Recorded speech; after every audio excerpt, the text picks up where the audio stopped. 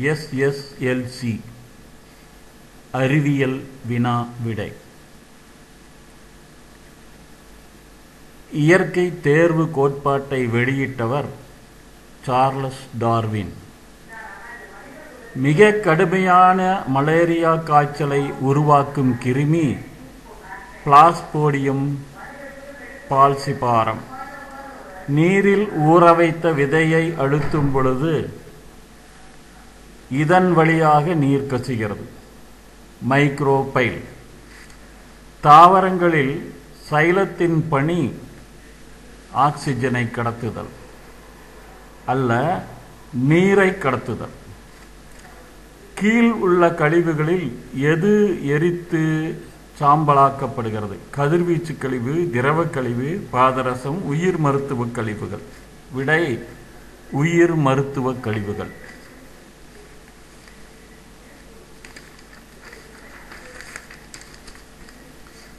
சூரிய ஒளி வகுப்பின் ஜன்னல் வழியாக வரும்போது அதன் பாதை தெரிவதன் காரணம் ஒளியின் சிதறலால்.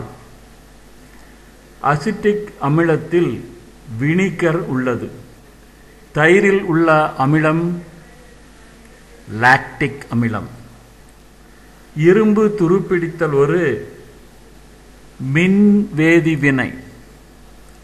ஒரு உலோகத்தை மற்றொரு உலோகத்தின் மீது மின்சாரத்தின் மூலம் பூசுவதற்கு பெயர்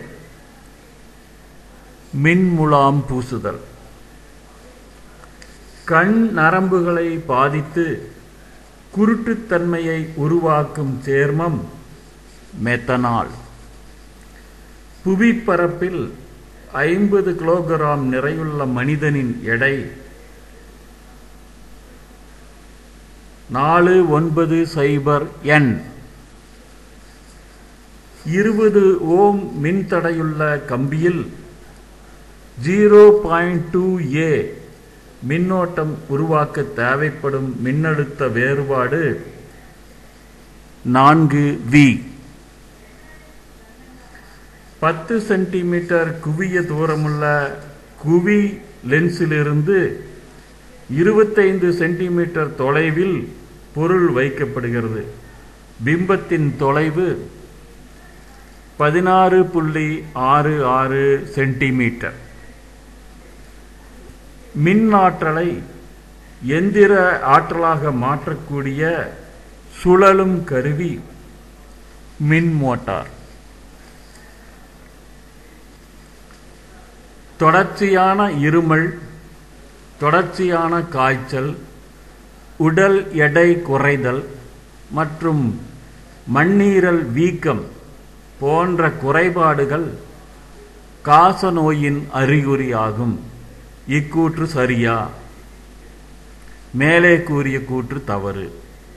காசநோயின் அறிகுறிகள் தொடர்ச்சியான இருமல் உடல் எடை குறைதல் தொடர்ச்சியான காய்ச்சல் மற்றும் மண்ணீரல் வீக்கம் போன்றவை டைபாய்டு காய்ச்சல் அறிகுறிகள் ஆகும்.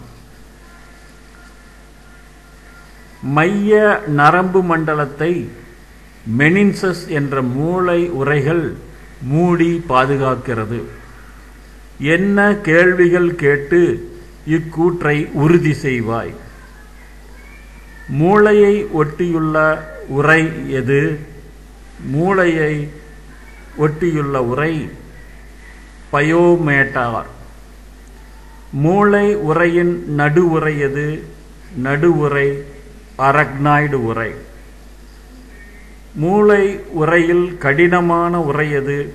கடினமான உரை டுரா மேட்டர்.